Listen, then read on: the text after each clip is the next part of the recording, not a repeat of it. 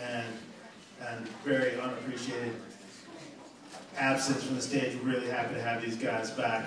Please help me welcome to the stage Viva Quetzal.